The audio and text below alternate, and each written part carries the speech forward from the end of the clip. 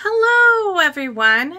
My name is Elizabeth Giles with Stampin' Unicorns and today I'm going to show you card number five using the Christmas Scottie bundle. This bundle can be found in the Stampin' Up! mini catalog, the July through December 2022. It is in a bundle, so when you purchase the stamp set and the punch, you do receive 10% off, and you can see all of these cute cards here. So this is card number five in this series, um, so you definitely should check out the other five videos I have if you haven't seen them yet. So let's get started. This is a fancy fold card, and we are going to be making this card right here and it's kind of a, a step, right? A step card. Um, so it's got all three of the doggies on there and just lots of different things. So let's get started. I have my supplies already cut out for this and some things even already die cut. So hopefully we'll go through them. I can give you um, the approximate sizes for everything so um, you can get that all docketed. Docket. First we have our card base. So this is going to be 4 and a fourth by 11, scored in half at 5 and a half. So we're going to go ahead and just burnish that real good on both sides. And this can actually just get set aside.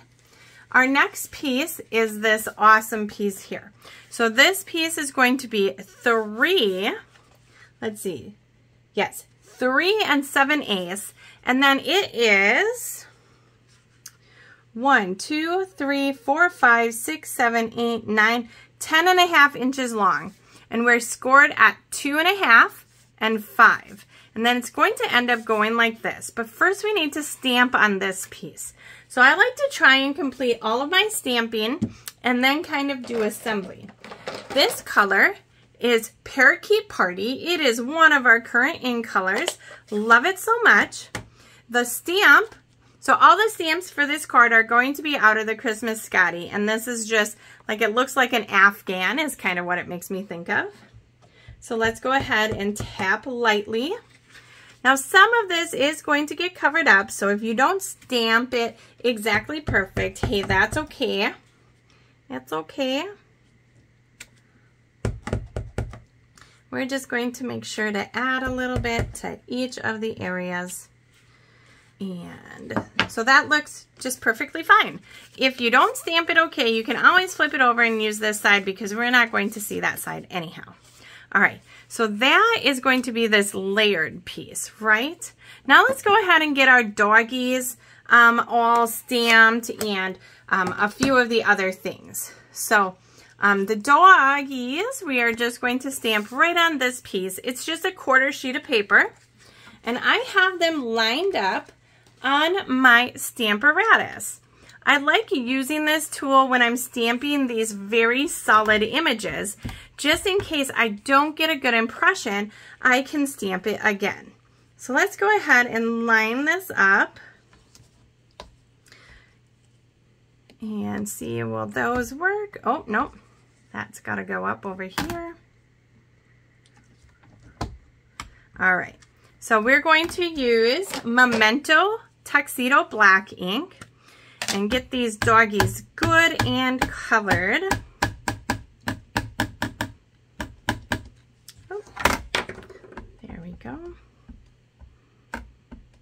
Ink them up really well. If you are just using your stamps brand new, you might want to wash them first. The photopolymer has kind of a little bit of a residue on there. So just in case. Boom, boom. Oh, I need to ink those up again. I'm going to try this other ink pad. Maybe. Oh, yeah. That's a little juicier. But don't worry, since we're using the Stamparatus, I can ink them again to get darker images. These guys look pretty cute too, though, that way. All right, let's see what we get. Oh yes, those look fabulous. So now we're going to go ahead, close that up, and we are going to stamp the bows. So this stamp set come with numerous bows. I'm not going to stamp a bow on this guy because um, he's just going to get punched out. So we don't want to add a bow. So we're just going to add a couple small bows. Where's the other small bow? Here it is. When I do classes, so this was for my bingo class, I try and use every single stamp in there. And now we're just going to take a marker and fill in the collar. It's a lot easier than trying to line up the stamp. There we go. So there's our doggies, our Scotties. And the bottom one here, we're gonna go ahead and punch out. Boom. And the other two, unfortunately, are going to have to get fussy cutted fussy cutted. And if I would have thought about it, I could have definitely had this done ahead of time because, you know, magic of videos. But it won't take me very long to cut these out. And we'll just go from there. So, Scotty Dogs. Um, this card was the final card in this series. So if you haven't checked out the other four videos. Make sure to check those out. I kind of started with the easiest cards first and then went up from there. If you don't have the Scotty Dogs on your list, make sure to order it. I know the um, punch was on back order, um, and we just got a bunch more in. Punches are a favorite. They're easy to use, quick, Kids can easily use them. Check that out. All right. Almost done with the first doggy. After we do this, we are going to stamp the sentiment on our green parakeet party. And we are also going to stamp the inside of our card. The only thing that is trickier than doing your stamping and cutting is to make sure that your card is orientated the correct way. This fancy fold is super cute and you can really showcase um, quite a few neat other. I have an alternate card here, which is what I used for determining the layout of this card and it had a butterfly on it and some flowers. So you can really use this to kind of layer your scenery as well, which you will kind of see we did. I did use a few other products from the current celebration catalog and also um, an embossing folder from the current mini catalog as well. So you can see how these things kind of tie together.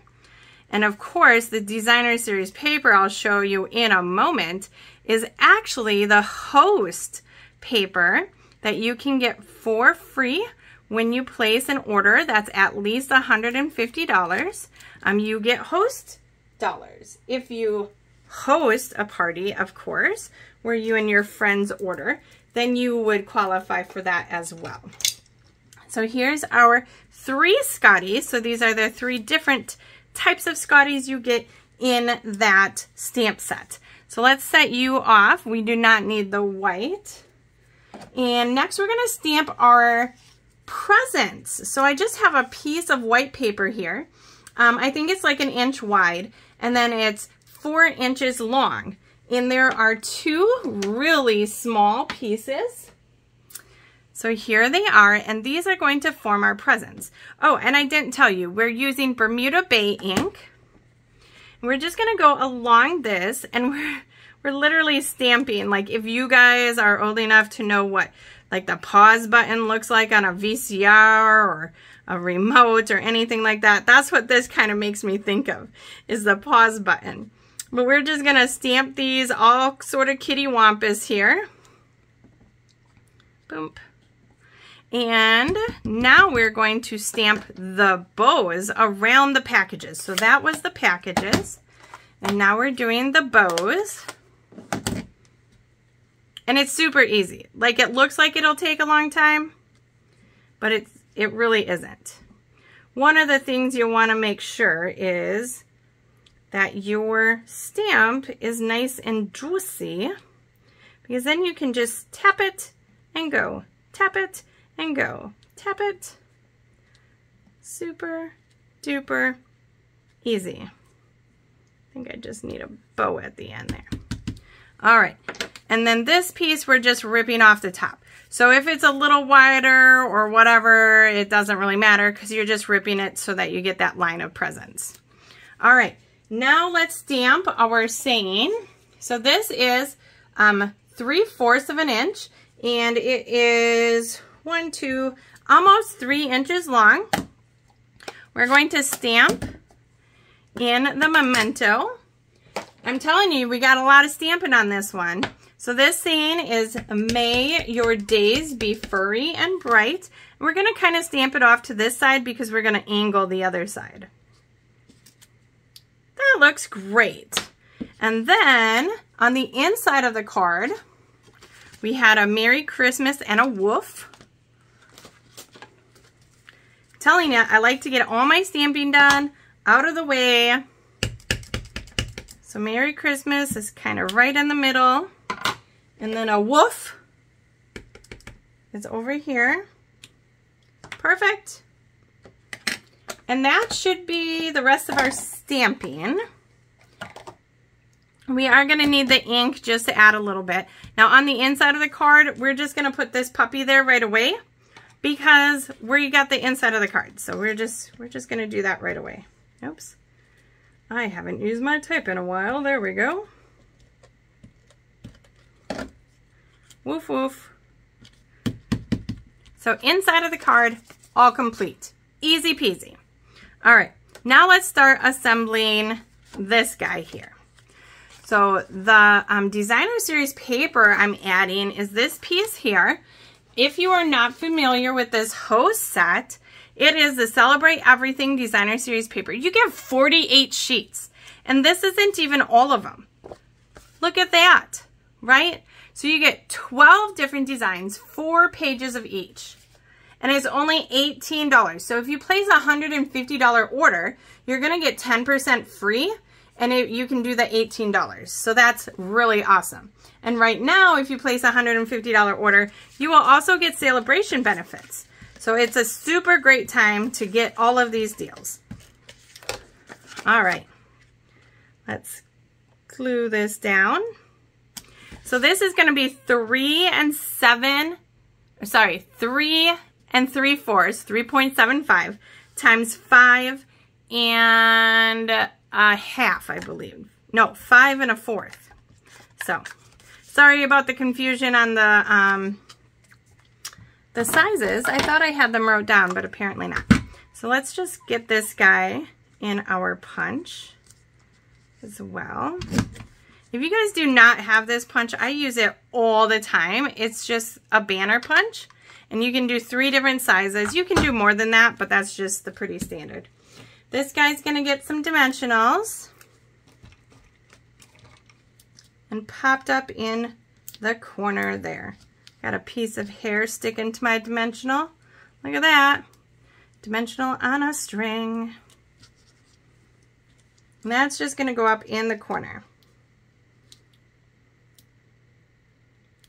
Boom, boom, boom.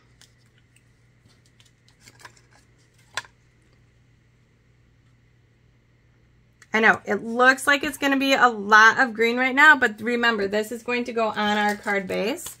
And we're going to add one of these black matte dots. Let's just grab a bigger one here. Boom. Just one, that's all we need. Just a little something, something all right, now let's continue to add our layers here. So on the card here, you can see it, it has a black piece here and then these awesome trees.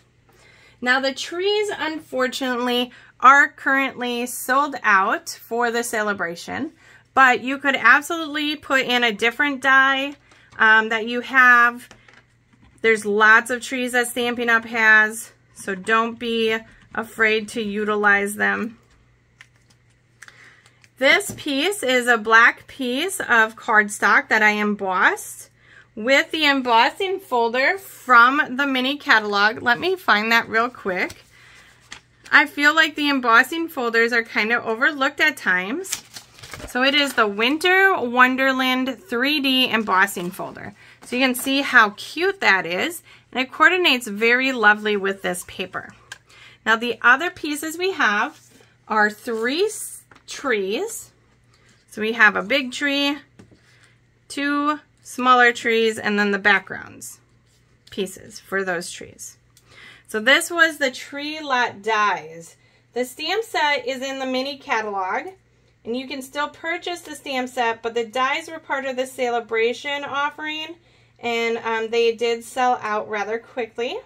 You could stamp the, um, you could stamp from there. You could stamp those trees and just cut them out as well. So don't be, de don't be um, shy about changing it up a little bit. But you don't have to put any trees on at all. I just like the 3D kind of look of them. So to add a little bit more dimension to the trees, we are going to just use a sponge dauber and a little ink. And we're just going to go over the backs of the trees so that when the overlay goes on, it'll just stand out just a smidge more.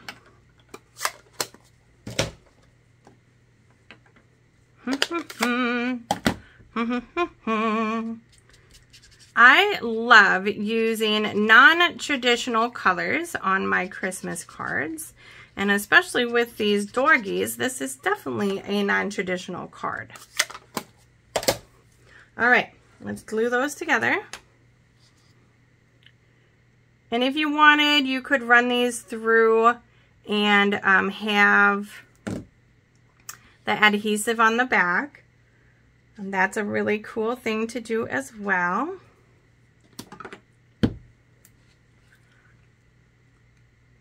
Right here, we're just going to add a smidge of glue. Smidge.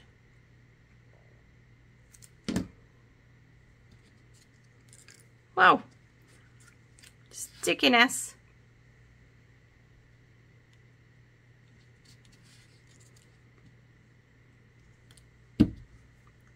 And the last one. Super easy. I can't wait for these Dorgies. I I saw them at first. I'm like, no, I'm not going to get that set.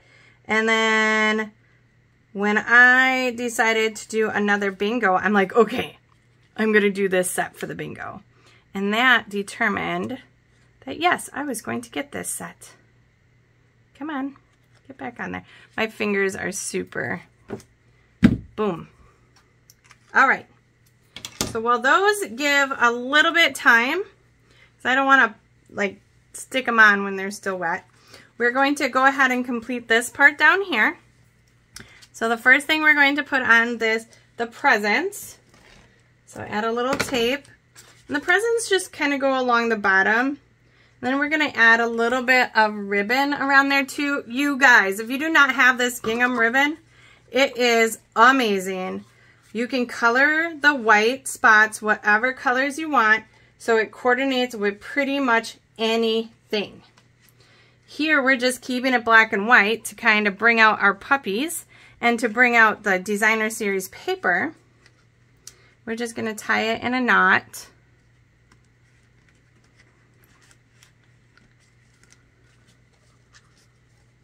Perfect. Just snip the ends at an angle. Perfect. All right. Now we gave our trees enough time to dry. That one's going to get popped up. These two are going to go straight down.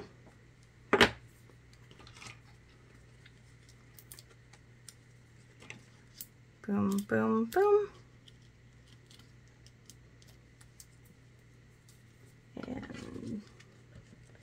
Tape.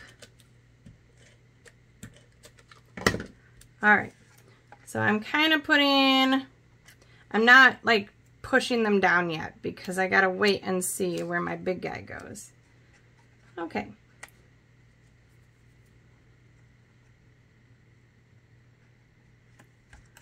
There we are. Now let's attach this and then we're to attach our doggies last. Because those will be done with dimensionals. So this card is super quick, super easy. You can add layers, it gives it dimension, and I like the fact that it stands up really nice as well. So lastly, some dimensionals on our doggies. We got that piece just hanging out there. Oh, I want that a little lower because he kind of sticks up a little bit. Okay. So that guy sticks up over the top. This guy goes a little further down. All right, there's our card. See how nicely it sits? So for um, anyone who loves to display cards, I know my mother-in-law, whenever I give her a card, she always has it on display for quite some time. So this would sit really nice, won't fall over, anything like that. So I hope you guys enjoyed this awesome card and make sure if you haven't already to check out the other four videos. Have a great rest of your day. Bye-bye.